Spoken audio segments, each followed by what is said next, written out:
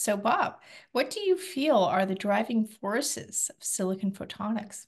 Well, Melissa, thanks for having me. You know, I mean, look, silicon photonics has been this technology that has been almost in the realm of science fiction for so long. It's been around for decades. The idea of, of, of using light to transmit uh, data sounds amazing. And of course, especially now, we're in this world where the demands for moving huge amounts of data because of AI are really growing, you know, quite rapidly.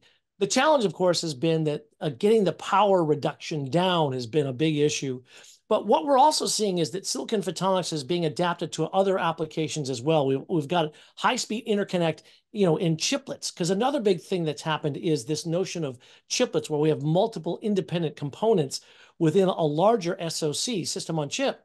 And they're using uh, things like silicon photonics to do the interconnect between them. So we've also seen it being deployed for LiDAR for autonomous cars. So there's all kinds of these different applications. But the one, of course, getting the most attention is indeed around Gen AI, these huge data centers, these racks and racks of GPUs, all this high bandwidth memory. And then there's the interconnect uh, between the different racks. And so we've seen some discussions. Uh, recently, we also saw some concerns being raised around that uh, because of some of the power draw that's being used for silicon photonics. But look, at the end of the day, this idea of high-speed interconnect and being able to integrate logic onto some of these chips, so you have chips that have both the uh, silicon uh, the photonic side of things as well as logic together, that's where things start to get interesting because you can start to develop new sorts of applications. And so I think you're going to see right now a focus on this sort of mainstream movement of data across environments. And then on top of that, you're going to start to see some of these other more interesting applications, you know, more on the edge, shall we say. Uh, and I think that's going to be the interesting areas to watch for silicon photonics. Exciting. And I am excited about those new applications coming up as well. I think we will cross over to different industries. So, with that said, where do you see silicon photonics going in the future?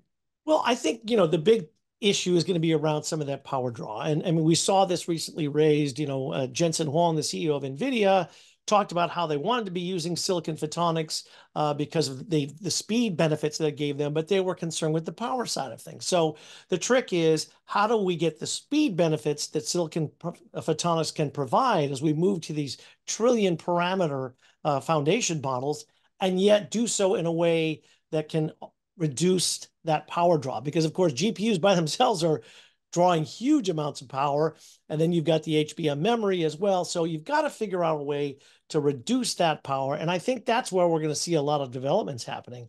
Uh, so I think that's one very important area to watch.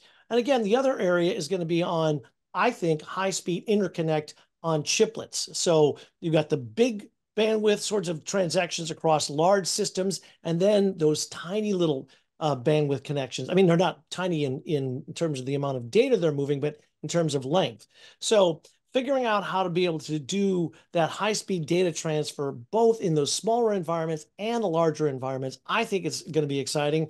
And they're going to lead to different types of benefits in different types of industries, as you suggested. Thank you.